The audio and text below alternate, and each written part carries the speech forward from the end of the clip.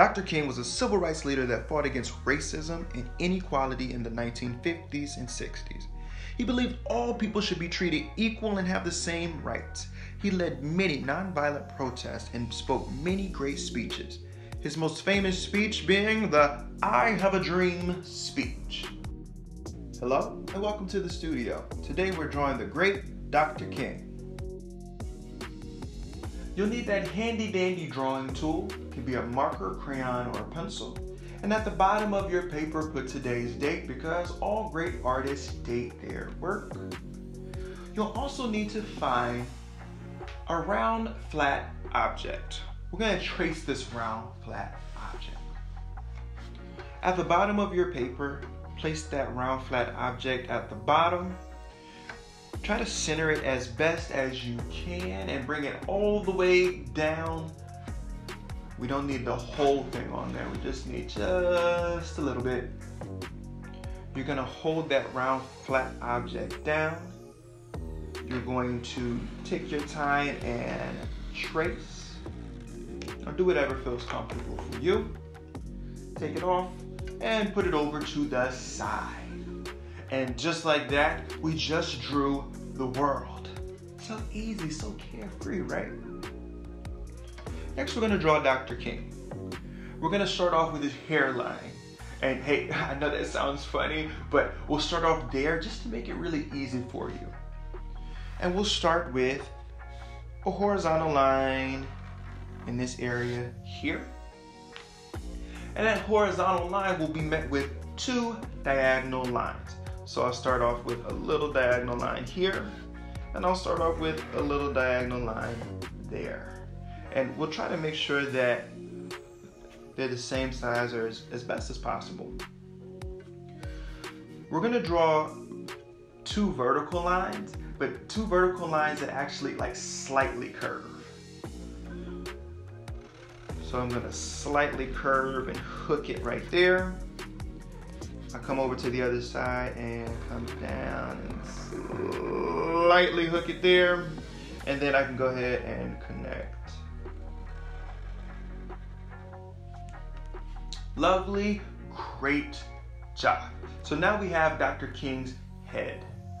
Next, we're gonna move on to his eyes. And so I'll start with two lines, one here, and I'll start off with a line right here and then I'll try to make sure that they are um, as even as possible, same on both sides as possible.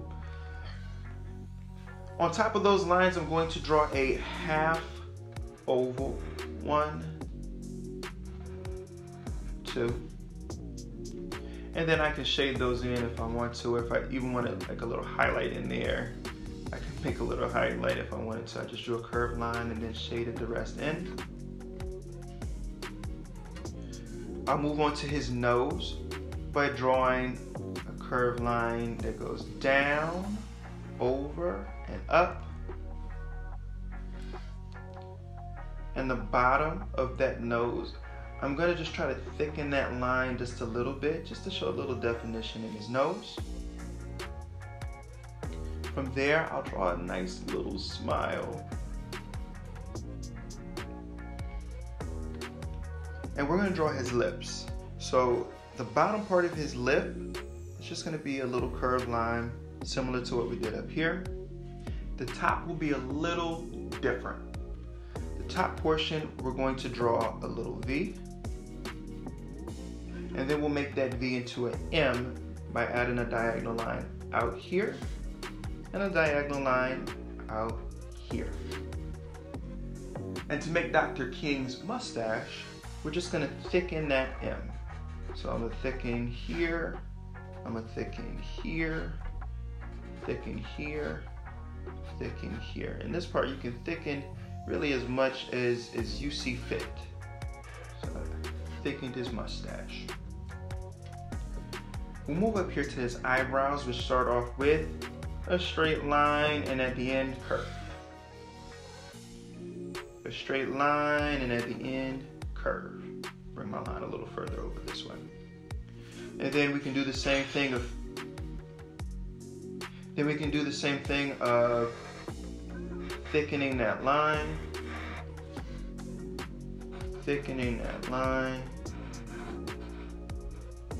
just a little bit more. And we have Dr. King's face.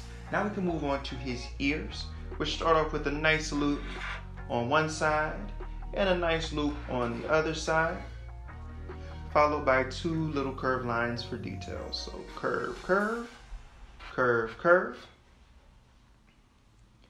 And then we can make the whole rest of his hair. So I'm gonna start here and it's very important that you stick really close to this line. You don't wanna make his hair too big. And so starting here, we're just gonna curve. I'm trying to stay really close to that line. Curve, curve, and down. And if you make a mistake and you're like, hey, I, I was too close to that line, you can always go back around and just color in his hair and that line will magically disappear. But I like mine. I'll probably color in my hair just a little bit later. Now we're gonna move on to Dr. King's suit and his whole body. And we'll start off with a V. And that V is gonna start at his chin, come down, and go up to the other side of his chin. So I start here, take the V down, make it go back up,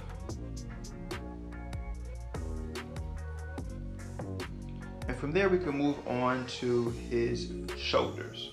So now that we have this V, we're gonna start at this side of the V and we're gonna go line over for a shoulder. And on this side, we'll do the same thing, line over for a shoulder. Great. And then we'll bring a line down for the arm. So line down for an arm, line down for an arm.